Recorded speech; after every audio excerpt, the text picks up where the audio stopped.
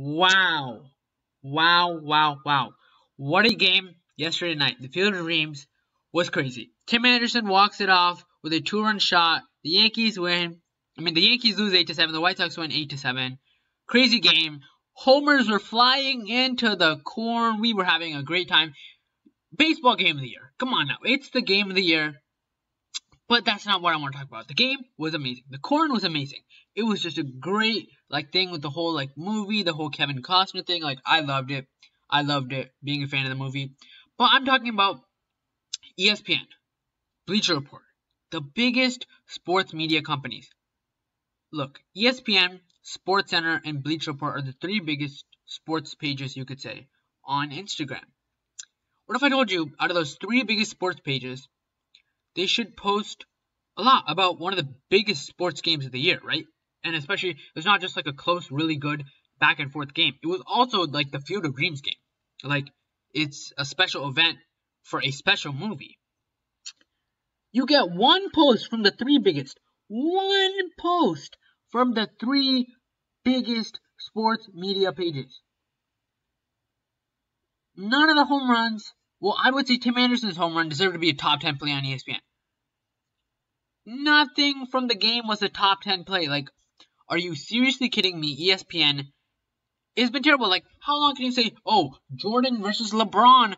Oh, who's gonna be better? Like, sure, your some of your debates are cool, but at this point, you guys just put out terrible stuff so you can get clicks on Twitter. So you can get clicks. You just want the money. You're greedy, ESPN, Disney. You're greedy. Admit it.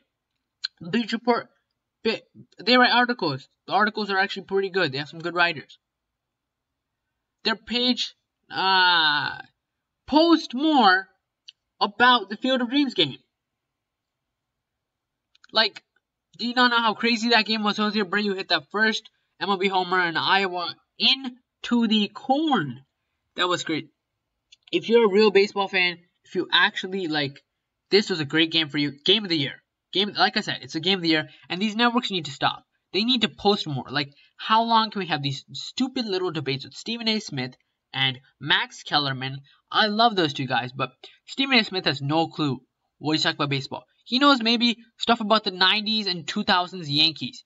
Other than that, he has no clue what he's saying. Have you heard what he's been saying about Shohei? He said it's bad for baseball that Shohei needs an interpreter. Why does it matter? What language he can speak. Uh, in fact, that he could speak great English, he just needs an interpreter because sometimes he doesn't feel the most comfortable. Also, he can speak Japanese very, very well. Have we talked about that? He can speak Japanese very, very well, and he's a great player. It doesn't matter where you're from, he's a great, great player. Like, who doesn't love Shohei Ohtani? Like, this is the type of stuff ESPN is like, I don't care.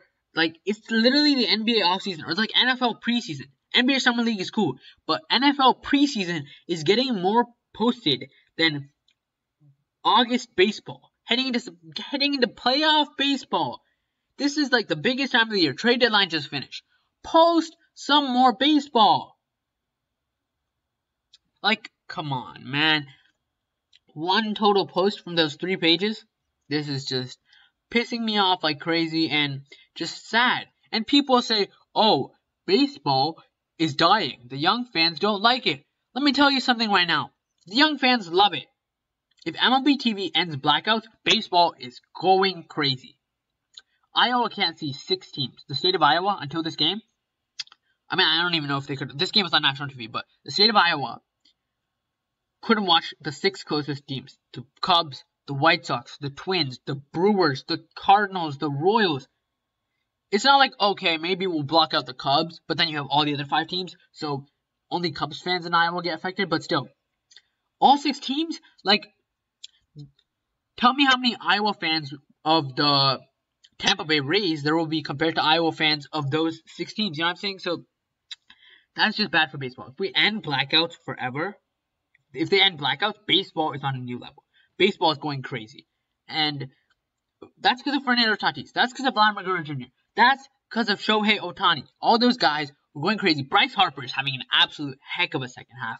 We'll talk about that later. And Juan Soto is killing the game.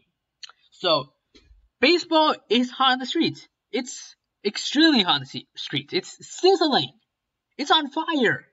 And the big sports media companies are not willing to talk about it, which is just terrible. And they're just there for the clip, clicks, the money, the engagements. That's all they care about. They don't care about what's actually good in sports, what you actually should talk about. They don't care about actual stats. They just care about what's value for them based off their face. Like, even in, as a basketball fan, I love basketball. And LeBron and Jordan are just all your debates that you have. Use more stats.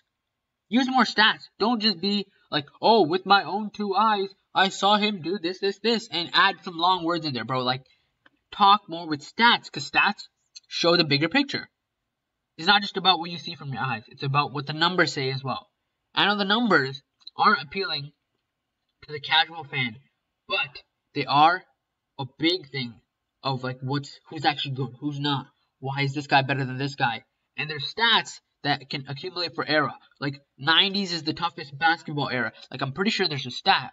I don't know fully, but in baseball there's some era stats. In basketball there should be a stat like for era. I'm not fully sure. I haven't really done my research, but this is just pretty much a rant. Subscribe. It was Sixthman Sports. I'm saying that at the outro, but subscribe. Have a great rest of your day. I'll be seeing you all soon. Bye.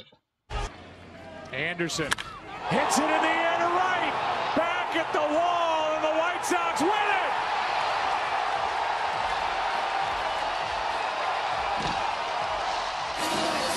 Well, you can throw the party, but you never know how it's going to turn out. That's unreal. And how about six runs on the board in the ninth inning alone, and the White Sox with a walk-off 9-8 win. This was some kind of night for baseball. It sure was. And the most energetic guy on the team ends up winning it and letting everybody know about it. As soon as he made contact, he knew it was gone.